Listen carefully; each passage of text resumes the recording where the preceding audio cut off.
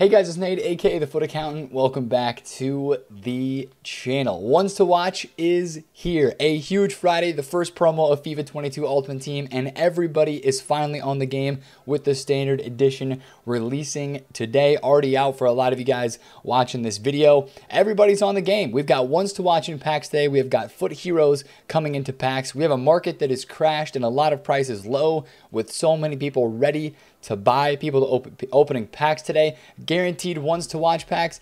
There's a whole debacle with that going on right now. So I want to talk about the content to expect today, what to expect on the market, and everything that we know about ones to watch and what's happening today on Friday. First things first though, if you're enjoying the videos on the channel, make sure to leave a thumbs up and of course, subscribe if you are new. Now, we actually already know the ones to watch team. If you are unaware, this is the official ones to watch team. EA posted this on their Instagram story yesterday. They do this sometimes. They post the teams early. I'm not a huge fan because it kills some of the anticipation and some of the hype. But Cristiano Ronaldo is headlining team number one with his Manchester United teammate Rafael Varane. So Ronaldo, Varane, Hakimi, Alaba, some big names in this team one side. Of course, it is only 11 players. And we'll talk again about how Ones to Watch is going to work over the next couple of days. And it's a two week promo like usual, but there's some mini releases as well. So I want to talk about again this team and what happened with the market just a little bit today, and then we'll talk about those guaranteed ones to watch packs. So when EA tweeted this out, of course, a lot of people went to the market to try to buy the gold cards of these items as they went out of packs. Guys like Upamecano, Upamecano went from like 21,000 coins all the way up to 26k.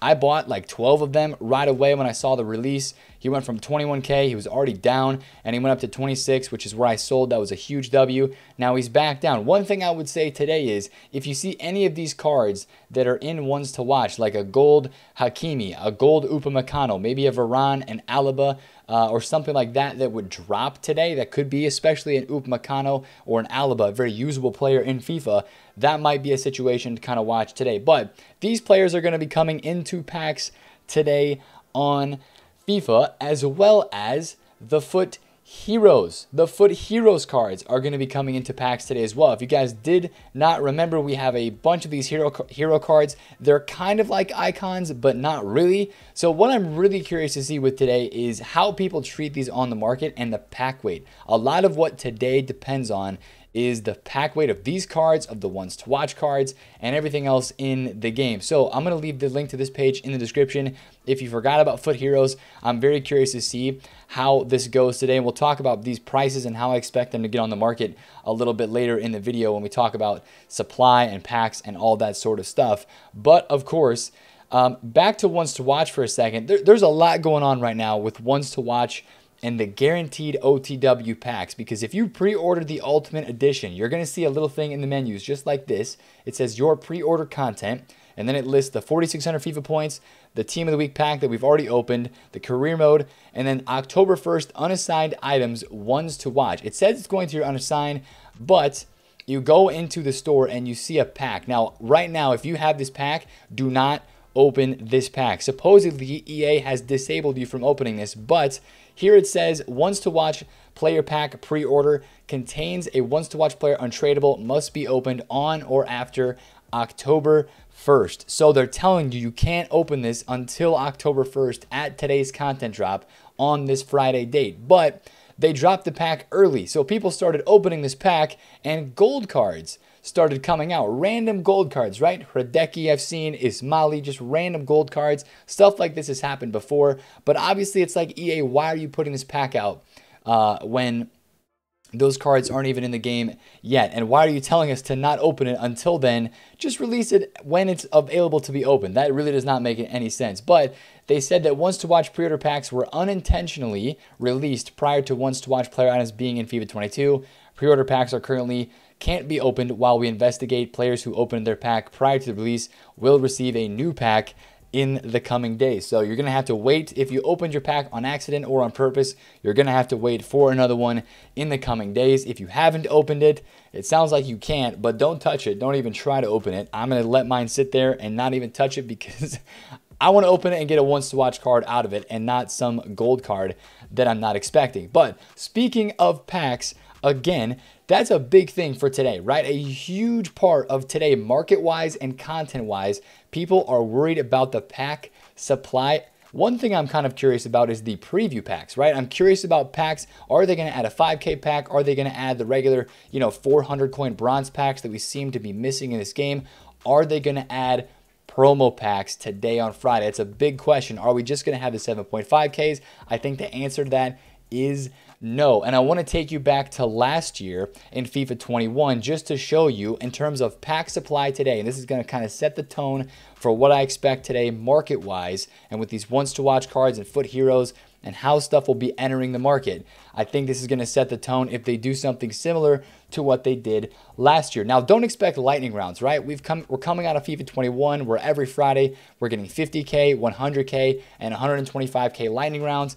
It's not going to be like that this early. They don't put out the, that those big of packs right away they kind of eased their way into it, right? Even last year, this is last year, the pack offers that we had for FIFA 21 ones to watch. There were no lightning rounds. They were only basically 15K packs and 12.5K packs on a 24 hour limit. You could open 10 15Ks and five uh, 12.5K packs um, on that 24 hour limit. And then, of course, on Saturday, they had 15Ks again and they had 25K packs and then on Sunday, they had 35, 25, and 15K packs. So, what I'm very curious to see today is number one, do they release promo packs? I think the answer to that is going to be yes. I would be very surprised if they just left the 50, the 7.5Ks in here. I think they will add at least a 15K, maybe a 12.5 like last year, maybe a 25K pack.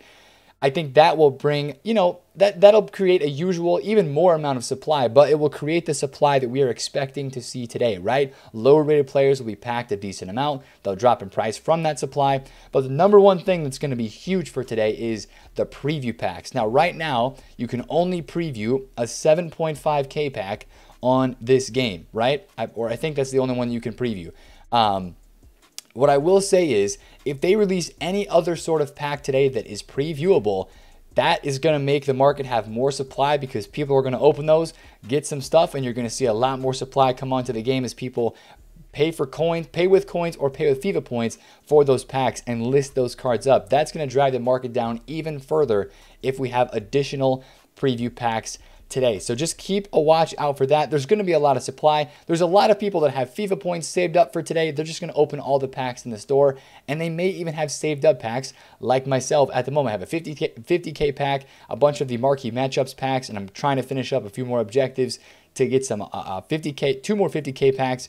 Uh, and a 100k pack as well. So, trying to finish up objectives, a lot of people have those types of packs sitting and waiting for today. There is going to be a ton of supply. Now, let's talk about market and how it is acting right now on this game. I want to show you the market index because heading into today on Friday, we have a lot of prices down bad, even worse than what they were before. Remember yesterday when we looked at the market index and we were at 99 points?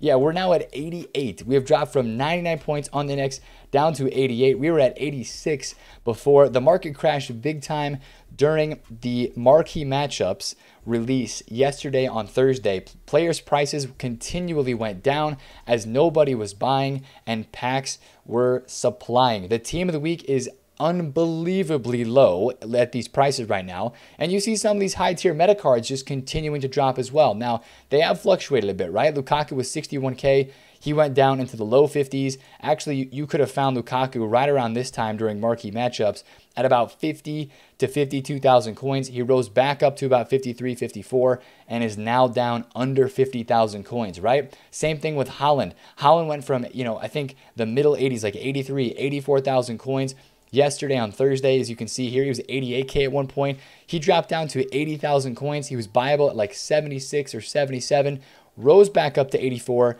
and is now back down to 77K. Now, the interesting thing about this part of the market right now is a lot of people, again, as you have seen and can see, have sold these cards. So many people are waiting to buy for today. They're waiting for today to, to buy because they're expecting all the supply to drive player prices down. down. Now, yes, I do think that player prices are going to drop today on some areas of the market, but I also think that so many people are waiting to buy that you're going to see some prices start to come back. I don't expect the market to absolutely explode today, because I think there's going to be so much supply that, and especially with, you know, there's no weekend league today. There's people are just buying teams to buy teams. There's not like a huge driving force behind I have to buy this team so that I can play weekend league with it this weekend and get rewards. But a lot of people are still out there wanting to buy some teams. So I think on the high tier meta, once again, we keep saying that those higher tier cards like a Pogba who's 140k, who's 165,000 coins just a couple days ago, a Marcus Rashford who was in the 170s, now in the 150s. Bruno Fernandes in the 160s. He was in the high 170s. Marcos Llorente was over 150,000 coins. He's now 136. You're seeing a lot of these higher tier cards drop down. I would really look into getting involved in some of those today if you want them for your team. Now, of course, the lower tier cards too, right? We talk about the cheap ones that we're expecting to get packed a lot, but are still very hyped up. Where's my boy Lacroix? Because Lacroix was down at like 33,000 coins, 33K. 79 rated center back, 88 pace, so much hype on this card. I do still think that he is going to have a bounce back like he did earlier this last week, but I would be a little bit worried about that supply that's coming in today. So, my best advice to you today would be watch the prices before we head into the 6 p.m. time frame. I know some cards, if they're higher tier, if they're really high rated, like a Haaland, like this Lukaku, you know, guys like maybe even a Bruno Fernandes, a Heung-min Son, a Pogba, any card that is like 85 rated and above, if you see it dropping a lot more into 6 p.m. today with even more panic selling, I don't expect that. But if you do see that, I would go ahead and try to snag those right before. But if not, maybe during that first hour to two hours of that insane amount of pack supply, you might see some undercuts, you might see some listings, and then you'll see people start to buy back after all of that happens. So, of course, we saw a huge drop off in the market yesterday. I do expect to see a drop off kind of like this a little bit, but what you're, you're going to see the drop off today on the market impact cards on the lower end the most, right? Cards that are maybe like six to 7,000 coins, like a Correa, who's 5,000 coins, a Fekir, who's 7K, a, a Felix, who's 2.1 thousand coins, a Fred, right? 81 rated card, probably going to get packed a decent amount today. At Adama Traore, 3,000 3, coins, he's going to drop off in price today. Vinicius, 80 rated, like the supply is really going to hit those lower rated cards. Some of them will bounce back a little bit, but a lot of cards are really going to get tanked in price today. And especially with all of the supply that is on this market, player prices are cheaper than ever. It's just crazy out here, right? So that's kind of what I'm expecting today on the market, right? We knew prices were going to be really, really low. Some of them are going to pick up, but I think maybe if it's if it comes down to this for higher rated cards, it might be a little bit of the earlier you get in, you might be a little bit better off if you do get in a little bit earlier. Now, of course, we have FUT Heroes coming into packs today as well. And with those cards coming on the market, one thing I'm very curious about is their pack weight and their supply. If we have preview packs today, some of these cards might get supplied a lot. They might get pretty cheap, then rebound on later. If we don't have any preview packs today, then of course we will just have saved up packs. I would even watch out on your ones to watch and your FUT hero cards today for cards that just get too cheap in the first hour to two hours. If you look at guys like Grealish, uh, of course, these cards are live updating items, and a lot of these players actually have games tomorrow on Saturday, right? That's something that we always have to keep in mind is that these ones to watch cards have games tomorrow or on Sunday. So keep in mind which cards have a game tomorrow on Saturday because that could be a quick investment. Uh, like Cristiano Ronaldo and Manchester United play first thing Saturday morning, I believe keep an eye on those cards, right? Keep an eye on those cards. If they do get a little bit too low, you think, hey, if these cards, again, have potential to get an inform this next week and could get upgraded right away. People buy into that hype just because they have a game the next day and they want that player to perform well. I would take I would watch a guy like Malen, I believe Dortmund play on Saturday. I would watch a guy like Grealish, right, with Manchester City, or even Saul with Chelsea. I would keep an eye on those ones to watch cards and how low their prices get today in the first couple hours or so because they could rise up later on into the evening is maybe people look to buy them for the potential of them getting upgraded and heading into a game that they would have on Saturday. So that's kind of what I'll be watching for on the market. Now I'm going to be looking at icons. I'm going to be looking at informs. I'm going to be looking, I mean, these informs right now on this market are incredibly, incredibly cheap. One place it would be pretty no risk kind of like the lowest risk possible if you're looking for an investment or a place to watch the market today would be icons and informs. Now, some of the team of the week one informs have kind of dropped off a bit, like this Kimmich. And Kimmich has dropped off because of the Zakaria inform that is in uh, Team of the Week 2. But obviously, these cards are out of packs. Now, Team of the Week 1 is in packs, and their prices are insanely low because, again, just like the rest of the market, nobody wants to buy at the moment. So we're keeping an eye on these cards because yes, these would be ones that could rise potentially later on today. Rare cards like Benzema, very in-demand cards like Jesus, Felipe Anderson, Zakaria, and Barella. I would keep a very close eye on this team of the week today because they're going to get supplied and they're going to rise up. They got dynamic images. They look cool, right? They look really cool right now inside of teams because they look different than gold cards with those dynamic images and with the boosted stats. And they're also more rare on the market. So I would keep an eye on these team of the weeks today as well as with the icons, because I think with FUT Heroes coming on the market, FUT Heroes really could impact some of the icon prices on this game today, depending on how expensive they are. Some of the links to FUT Heroes, you know, some of these items that we obviously, I put the link down below in the description to see some of these cards.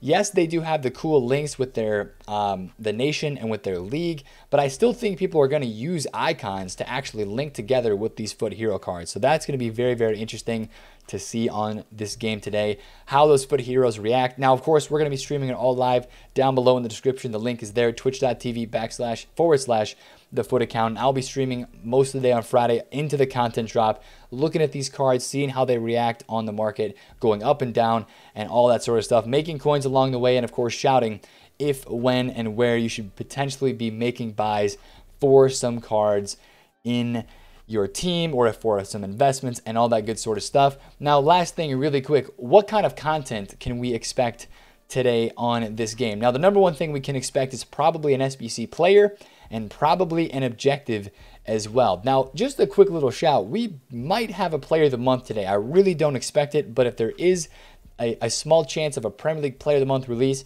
It could be today, of course. The uh, voting for the uh, September Player of the Month is out with Cristiano Ronaldo, Salah, and Sarr headlining that vote. But some people still think that we might get the Antonio Player of the Month from the month of August, which I think there's a very slight bit of potential for that. That would be released early this morning in the AM on Friday. Be, of course, that's like midday or early morning, even mid morning UK time, and like very early morning US time. They usually release those player of the months into the game of FIFA. We had that. We had one last year at the start of FIFA 21, so there is a possibility for that. Now, I am expecting to get a ones to watch player SBC today. It might be Kluivert. I've heard Kluivert's name thrown around. I've heard Depay.